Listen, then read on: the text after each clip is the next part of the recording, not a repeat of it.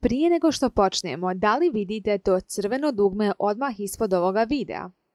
Ako niste još, onda nemojte zaboraviti da kliknete upravo na to dugme subscribe kao i na malo zvono pored toga, jer time dobijate sva obavještenja o svim našim novim objavama.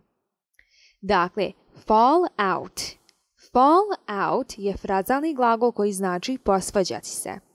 Fall je naš glagol, dok je out naš prilog. Inače se frazalni glagoli najčešće sastavljaju od glagola i prijedloga, međutim mogu se sastaviti i od glagola i priloga, kao i glagola i prijedloga i priloga. Naravno, frazalni glagoli su poznati po tome što su to zapravo fraze koje u rečenici imaju ulogu glagola. Naravno, njihovo značenje je ponekada teško za razumjeti, za shvatiti, pošto, na primjer, fall znači pasti, a out znači vani. Pasti vani. Međutim, ova fraza zapravo znači posvađati se. We had a falling out. Posvađali smo se.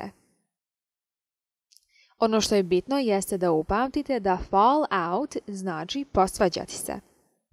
We had a falling out.